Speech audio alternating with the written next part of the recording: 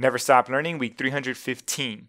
We're going to take a quick look at how to work with smart objects and layer comps in Adobe Photoshop CC 2017.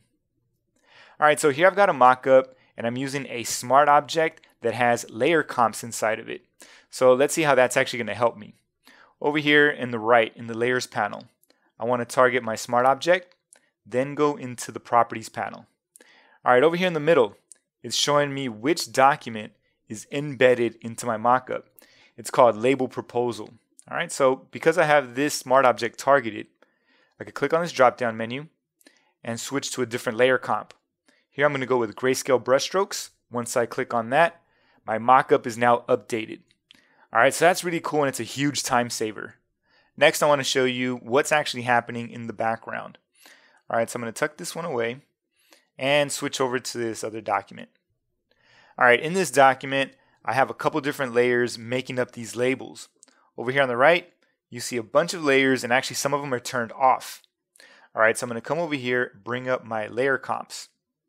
All right, I'll switch to a different layer comp. Here I'm going to go with grayscale brushstrokes.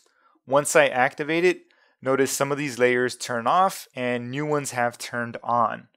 All right, so all I did was go to my mockup and embed that PSD. So now I want to show you how that works. All right, over here on the right, in the layers panel, I'm going to get rid of this label and we're pretty much going to start from scratch.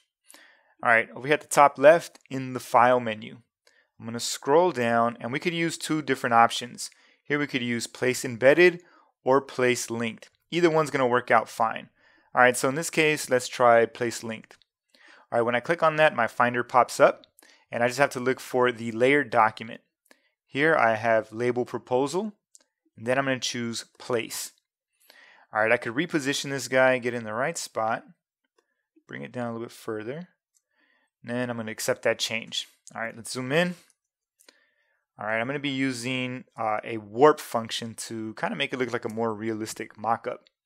All right, but before I do that, I want to bring up my guides. So I'm going to hit Command colon. All right, great. Over here in the top left, in the Edit menu, I'm going to scroll down to find Transform and then I want to choose this option here for warp. All right, so there's a bunch of different ways you could set this up, but for me, warp is pretty easy. I'm just going to click and drag over here. Probably not the most fun effect to watch in action, but um, if you're familiar with my channel, you know that I'm partial to the vector workflow. So here I'm just grabbing these Bezier handles and bringing them in. I'll come over here to the top left, click and drag, bring that one in, and I'm following along my guide. All right, over here on the top right, click and drag. Bring that one in.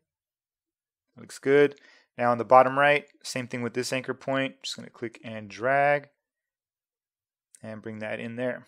All right, last with these Bezier handles. And I just want to keep those uh, horizontal lines nice and straight. I don't want to bend them too much. And we'll bring this one in here, just kind of creating a nice grid.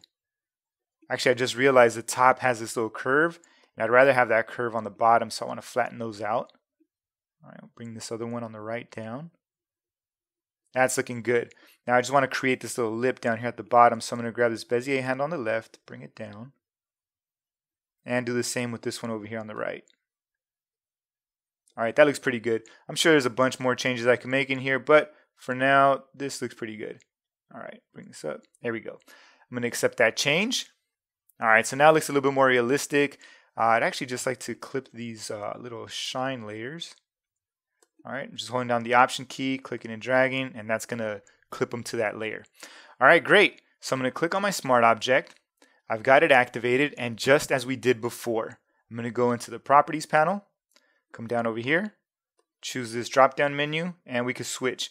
Currently it says don't apply layer comps, but let's go with the last document state, which was the last one saved. Then we go with uh, grayscale brushstrokes. All right, so that one's going to change uh, dramatically. And then this other one that we have saved, which is color swirls, and it goes back to the first one we saw. So there you have it, folks. That's a quick look at working with Smart Object Layer Comps in Adobe Photoshop CC 2017.